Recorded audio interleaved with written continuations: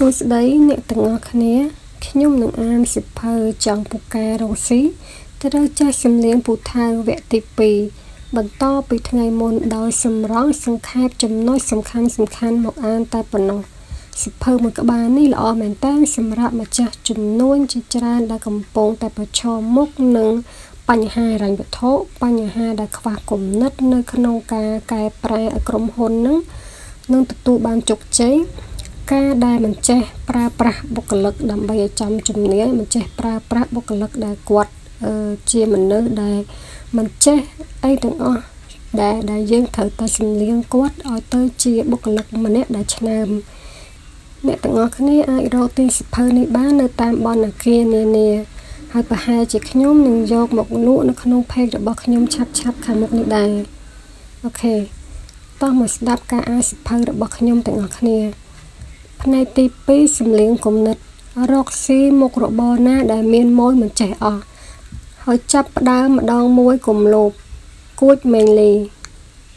ក្រោយពីលោកអ្នកបានសំលៀងចិត្តជាសក្រិនហើយជំហានបន្ទាប់ដែលអ្នកត្រូវធ្វើជាប្រចាំផងដែរគឺការសំលៀងគំនិតរកស៊ីគំនិតរកស៊ីមានច្រើនអនេកនៅក្នុងនោះមានគំនិតល្អត្រូវនឹងពេលវេលា វានឹងធ្វើឲ្យលោកអ្នករកស៊ីមានបាន តែបើប្រើគំនិតមិនល្អឬគំនិតស្អុយនោះអ្នកនឹងរងគ្រោះមួយវិញទៀតគំនិតរកស៊ីល្អថ្ងៃនេះមិនប្រកាសថាថ្ងៃនោះនៅតែល្អទៀតទេ ក្នុងរយៈពេល5ឆ្នាំក្រោយមកទៀតនោះដូចនេះហើយអ្វីដែលអ្នកត្រូវធ្វើគឺខំសំលៀងគំនិតរកស៊ីរបស់អ្នកជាប្រចាំដើម្បីកុំឲ្យហួសសម័យកាលប្រើការលែងកើត យុទ្ធសាស្ត្រជំពាមកៅស៊ូគំនិតជារបស់អ្នក មានអតិពលបំផុតនៅក្នុងការរកស៊ីអាជីវកម្មដែលមានការរីកចម្រើន គឺព្រោះតែស្ថាបនិកជាមនុស្សដែលពេញដោយគំនិត ហើយដឹកនាំអាជីវកម្មតាមយុទ្ធសាស្ត្រមិនចេះតែដឹកនាំតាមចិត្តនោះទេយុទ្ធសាស្ត្រនេះគេប្រើនៅពេលអាជីវកម្មរកស៊ីជួបបញ្ហា ពេលខ្លះអាជីវកម្មអ្នកត្រូវដើរថយក្រោយ តែអ្នកមិនត្រូវគិតថាអ្នកបរាជ័យនោះទេ បើអ្នកគិតដល់យុទ្ធសាស្ត្រជំពាមកៅស៊ូជំពាមកៅស៊ូមុននឹងចេញបាញ់បាន គេត្រូវទាញថយក្រោយសិនទៅបាញ់ចេញបានទាញបានកាន់តែខ្លាំងថយកាន់តែឆ្ងាយនោះលបឿនទៅមុខក៏នឹងទៅបានឆ្ងាយដែរដោយដែលចំពោះការរកស៊ីវិញ ពេលដែលអ្នកជួបបញ្ហាអាជីវកម្មត្រូវដើរថយក្រោយសូមកុំអស់សង្ឃឹមអ្នកគួរប្រើយុទ្ធសាស្ត្រជំពាមកៅស៊ូដោយព្យាយាមត្រៀមខ្លួនឡើងវិញ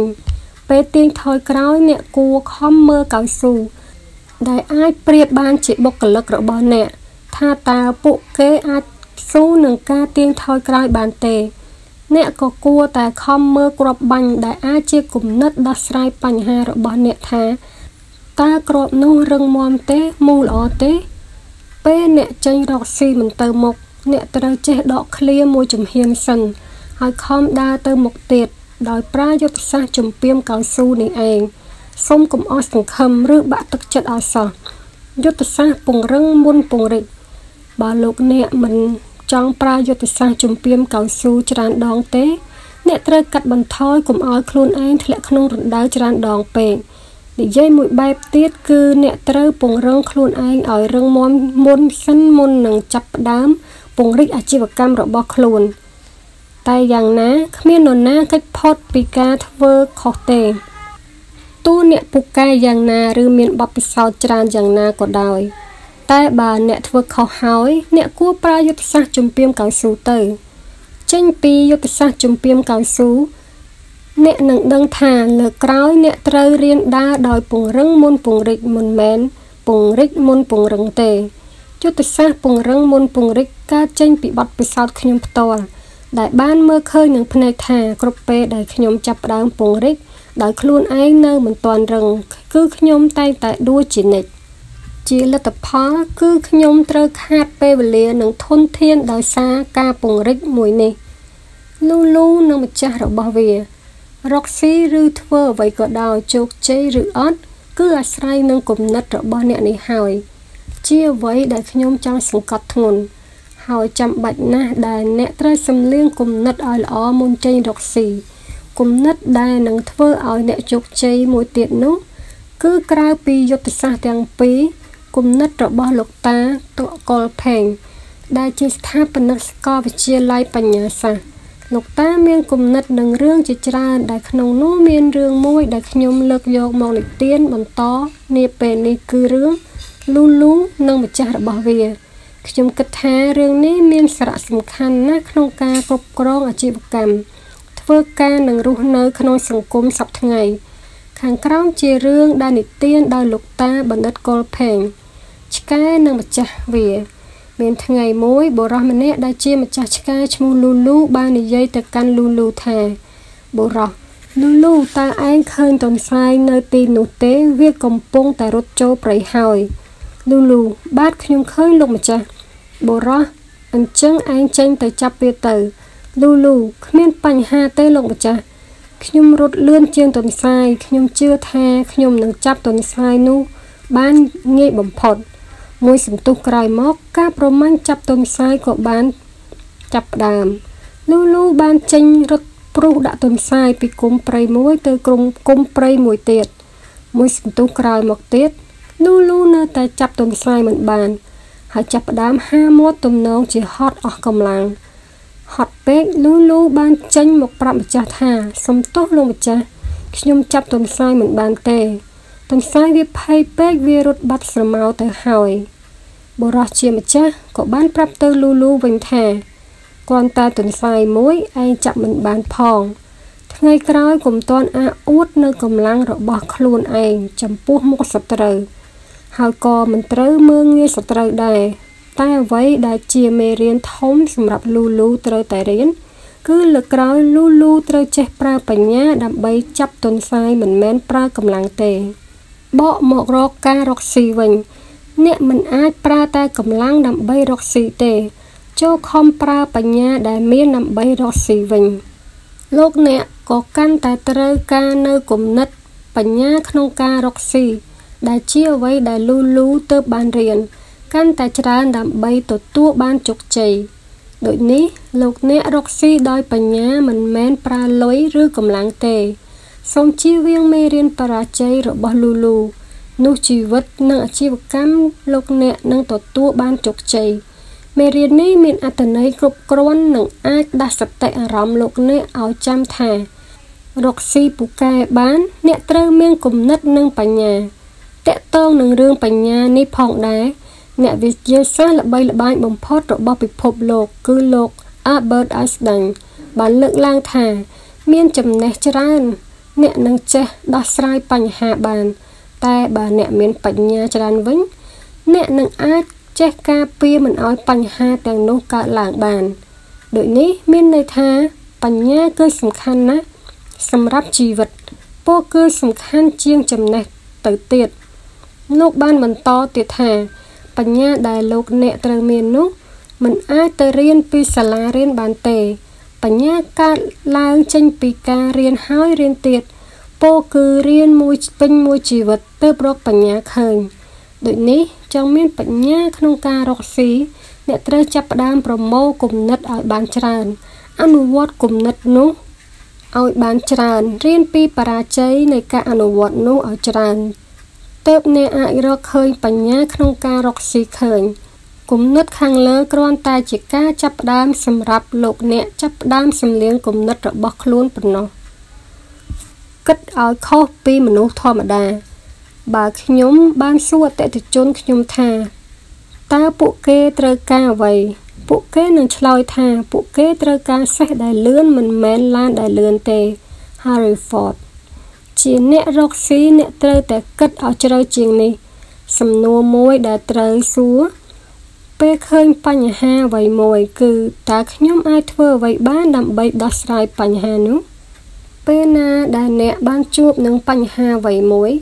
ជំហានទី1ដែលអ្នកត្រូវគិតគឺរកវិធីដោះស្រាយបញ្ហានោះឲ្យបាន ការគិតបែបនេះនឹងជួយឲ្យលោកអ្នកឃើញនៅឱកាសនៃការចាប់ផ្ដើមរកស៊ីនេះហើយ ជាអ្វីដែលសហគ្រិនពូកែពូកែជាច្រើនបានធ្វើជាប្រចាំ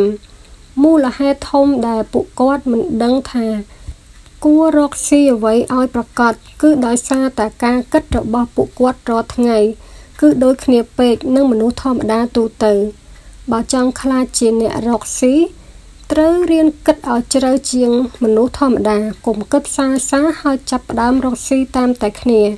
ពេលមេឃមានពពកខ្មៅងងឹតតើអ្នកគិតអ្វីមុនគេ1ពពកខ្មៅនោះបើគូចេញជាផ្ទាំងគំនូនោះនឹងពិតជាផ្ទាំងគំនូដ៏ល្អមួយជាមិនខាន2 ពពកខ្មៅនោះបើខ្ញុំថតដាក់ Facebook នឹងមានមនុស្សច្រើនអ្នកចុច like 3ពពកខ្មៅនោះអាចនឹងធ្វើឲ្យមានភ្លៀងធ្លាក់បើខ្ញុំផលិតអាវភ្លៀងប្រហែលជាលក់ដាច់អ្នកដែលតែងតែគិតត្រឹមចម្លើយទី1គឺជាមនុស្សដែលអាចធ្វើការឲ្យគេប៉ុណ្ណោះ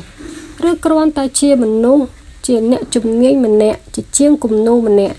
រីឯអ្នកទី2ក៏ជាមនុស្សធម្មតាដែរចូលចិត្តការកំសាន្តឃើញអ្វីមួយគិតឃើញតែយករឿងនោះ សម្រាប់ជាការកំសាន្តតែប៉ុណ្ណោះដោយនេះចង់ខ្លាចជាអ្នករកស៊ីចង់ឈប់ធ្វើការឲ្យគេហើយងាកមកចាប់ផ្ដើមអាជីវកម្មខ្លួនឯងបានដោយជោគជ័យអ្នកត្រូវតែគិតឲ្យដល់ចម្លើយទី3ពោលគឺពេលឃើញបញ្ហាភ្លាមខួរក្បាលអ្នកត្រូវតែគិតភ្លាម ថាតើមានដំណោះស្រាយអ្វីដើម្បីឆ្លើយតបនឹងបញ្ហានោះបើអ្នកពូកែខាងទស្សនវិជ្ជា អ្នកនឹងអាចប្រើវិញ្ញាណទី7របស់អ្នកស្វែងយល់ពីតម្រូវការរបស់មនុស្សបានដោយជោគជ័យបានប្រាក់ខែតែបាត់បង់ជីវិត30ថ្ងៃមនុស្សយើងខំធ្វើការដើម្បីទទួលបានប្រាក់ខែតែពេលដែលបានប្រាក់ខែនោះ ជីវិតអ្នកត្រូវអស់ពេលវេលារស់នៅរហូតដល់30ថ្ងៃពិតណាស់ថាគ្រប់គ្នាត្រូវការលុយដើម្បីជីវភាពរស់នៅបានប្រសើរតែអ្នកមិនត្រូវបោះបង់ជីវិតដើម្បីលុយនោះទេ បើអ្នកមានក្តីស្រមៃចង់សម្រេចអ្វីមួយ ដែលអស្ចារ្យសម្រាប់ខ្លួនឯងហើយអ្នកមិនអាចរកកន្លែងសម្រេចក្តីស្រមៃនោះនៅក្រុមហ៊ុនគេទេ នោះអ្នកត្រូវតែចេញរកស៊ីដោយខ្លួនឯងការគិតបែបនេះអាចនឹងខុសពីគំនិតរបស់យុវជនភាគច្រើនដែលចូលចិត្តតែធ្វើរឿងងាយងាយចង់បានតែប្រាក់ខែច្រើនមិនហ៊ានប្រថុយតែគំនិតដែលខុសពីមនុស្សភាគច្រើននេះហើយទើបអាចធ្វើឲ្យលោកអ្នកចង់បញ្ចប់ទៅមិនស្ដាយក្រោយទេពេលខ្លួនមានវ័យចាស់មនុស្សធម្មតារកស៊ីព្រោះលុយសក្រិនពូកែពិតរក ស៊ីព្រោះតែចង់ដោះស្រាយបញ្ហាមនុស្សនៅពេលដែលអ្នកគិតដល់ចំណុចទី3នៃសំណួរទាំង3ខាងលើបានជាញឹកញាប់នោះខ្លួនអ្នកផ្ទាល់នឹងក្លាយជាមនុស្សដែលសម្បូរទៅដោយ ដំណោះស្រាយជួយដល់សង្គមហើយអ្នកនឹងក្លាយជាមនុស្សដែលចង់ផ្ដល់ដំណោះស្រាយនោះដល់សង្គមដោយមិនខ្វល់ពីលុយឡើយ ឃ្លាមួយដែលយើងតែងតែលើគេនិយាយគ្នា ពេលគេពិភាក្សាពីមុខរបររកស៊ីគឺតើមុខរបរនេះរកស៊ីទៅអាចចំណេញឬទេ អ្នកខ្លះដែលមានមិត្តភ័ក្តិបើកហាងសាច់អាំងហើយឮគេថាបើកហាងសាច់អាំងចំណេញច្រើនណាស់ក្នុងមួយខែមួយខែសល់រហូតដល់ទៅជាង5000ដុល្លារគ្រាន់តែឮភ្លាមសហគ្រិនធម្មតាទាំងនោះតែងតែនៅមិនស្ងៀម ចង់រកស៊ីនឹងគេដែរទោះខ្ចីលុយគេក៏ត្រូវតែធ្វើដែរពាក្យមួយម៉ាត់នេះហើយដែលបានជំរុញឲ្យមនុស្សច្រើនអ្នកណាស់ចាប់ផ្ដើមរកស៊ីតាមគ្នាព្រោះតែឮតគ្នាថាមុខរបរនឹងចំណេញច្រើនហើយពាក្យមួយឃ្លានេះហើយដែលធ្វើឲ្យមនុស្សមិនតិចអ្នកទេទឹកភ្នែកឬឈឺចាប់ដោយបើកហើយត្រូវបិទទៅវិញព្រោះតែមិនចំណេញជឿចុះថា អ្នកមិនត្រូវគិតពីលុយទេ ពេលអ្នកចាប់ផ្ដើមរកស៊ីមូលហេតុធំបំផុតដែលធ្វើឲ្យអ្នកក្រខ្លះនៅតែក្រ គឺដោយសារមួយជីវិតពួកគាត់ធ្វើអ្វីក៏រងចាំដែររងចាំរហូតមិនចេញចេញសកម្មភាពឡើយពេលយើងថានេះជាវិនិយោគទុនតូចមួយពួកគាត់ថា រកលុយមិនបានច្រើនទេមិនធ្វើទេ ពេលប្រាប់ពួកគាត់ថាអញ្ចឹងដាក់វិនិយោគឲ្យធំមក ពួកគាត់ថាគ្មានលុយទេ ពេលប្រាប់ពួកគាត់ឲ្យរៀនបើកហាង ពួកគាត់ថាអាជីវកម្មនឹងគ្មានសេរីភាពទេ ពេលប្រាប់ពួកគាត់ថាឲ្យចាប់ផ្ដើមអាជីវកម្មថ្មី ពួកគាត់ឆ្លើយថាគ្មានបទពិសោធន៍ទេសរុបទៅ ពួកគាត់ជាមនុស្សដែលចូលចិត្តរងចាំមិនហ៊ានបថុយមិនហ៊ានលះបង់ពួកគាត់ចូលចិត្តស្ដាប់មនុស្សគ្មានក្តីសង្ឃឹម និយាយឲ្យពួកគាត់គិតដូចអ្នកប្រាជ្ញតែធ្វើដូចមនុស្សល្ងងមនុស្សក្រព្រោះមិនទាន់មានគំនិតត្រឹមត្រូវគុំមិនទោសទេវតាពេលមនុស្សមានគំនិតល្អទោះឲ្យលើពួកគាត់មិនទាន់មានលុយច្រើនក៏ពួកគាត់មិនដែលគិតថាក្រដែរហើយពួកគាត់តែងខំធ្វើការគ្មានឈប់ទេដើម្បីក្លាយជាអ្នកមាន ចំពោះអ្នកមានសំណាងដែលផ្ដល់ដល់ទេវតាវិញ គឺមានអត្រាតិចតួចបំផុត ការអានសិភៅចង់ពូកែរកស៊ីត្រូវចេះសំលៀងពូថៅបានបញ្ចប់វគ្គទី2សូមរងចាំស្ដាប់ការអាននៅវគ្គទី3នៅថ្ងៃបន្តបន្ទាប់ទៀតសូមអរគុណអ្នកទាំងអស់គ្នា ដែលបានចុច like និង Subscribe Channel របស់ខ្ញុំនេះជាកម្លាំងចិត្តឲ្យខ្ញុំព្យាយាមធ្វើវីដេអូថ្មីៗនិងស្វែងរកសៀវភៅល្អៗយកមកអាន បើសិនអ្នកទាំងអស់គ្នាគិតថាការអានរបស់ខ្ញុំល្អហើយគំនិតនៅក្នុងសៀវភៅដែលខ្ញុំបានអានចែកចាយទៅនេះជាអ្វីដែលល្អដែលជួយដល់បងប្អូនឬក៏មិត្តភ័ក្តិរបស់អ្នកទាំងអស់គ្នាសូមជួយចុច share ទៅកាន់ពួកគាត់ដើម្បីពួកគាត់បានស្ដាប់បន្តបានយល់ដឹងនៅអ្វីដែលជាទម្លាប់មិនល្អរបស់ពួកគាត់បានកែប្រែផងដែរសូមជម្រាបលា សូមសំណាងល្អទាំងអស់គ្នា